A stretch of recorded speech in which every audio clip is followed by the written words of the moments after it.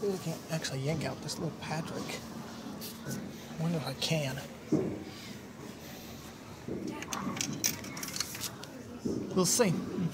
Because it's sitting straight up and I don't like that. Uh, I was also eyeballing, eyeballing this mouse. So,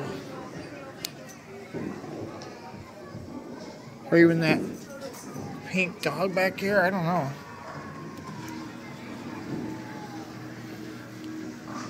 I didn't twist the claw. Yeah, this guy's dead zone.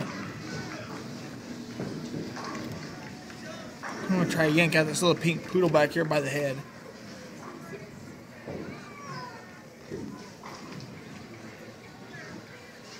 Stay.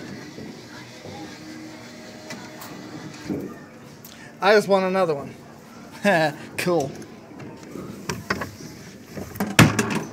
Right by the head and by the ear. That's how you do it sometimes, right? Well, thanks for watching.